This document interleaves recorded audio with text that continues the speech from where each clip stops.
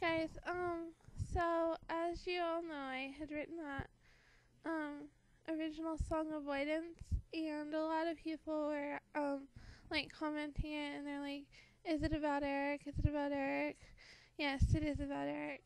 Um I like broke up with him because he um he's just a jerk. Um he had a Facebook and he kept like um deleting it and then bringing it back and deleting it and bringing it back. But this whole time him having that Facebook, he had another Facebook that was a secret Facebook and he'd had that the whole time and he hadn't told me anything about it. And so he's got this secret account going online and hiding from me and stuff. And he's like, he like, I hadn't heard from him for three weeks. And then I've come to find that secret account because one of my fans showed it to me. And, well, they told me about it, so I went and looked and found it and stuff. So, um, so then I found that and that made me get mad so I, about that because he was hiding that from me and stuff. So, I ended up calling him and he answers, Hey, hello. And then I'm like, Hi, Eric. And then he's like, Oh, crap. And then he hung up.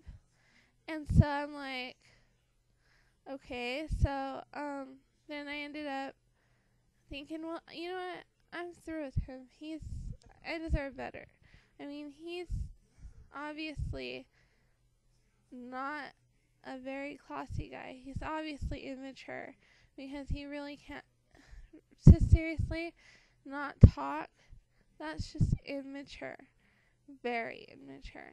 And you know what? I've had other guys like ask me out and stuff, but I had said I'm got a boyfriend, Eric, and so I'm staying loyal to him. Well, you know what?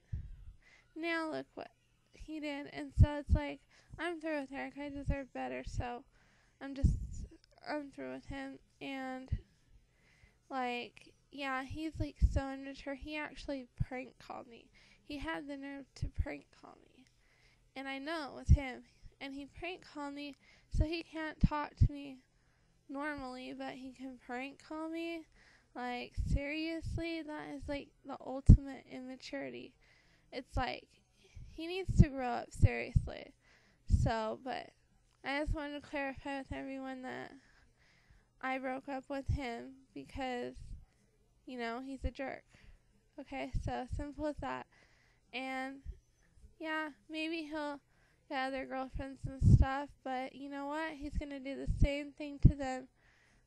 He's gonna start being avoiding them too, and then there, and it's just like karma's gonna come back to him and yeah, so I'm so through with Eric. And so, yeah. That's it. So, just wanted to clarify that with everyone. So, yeah.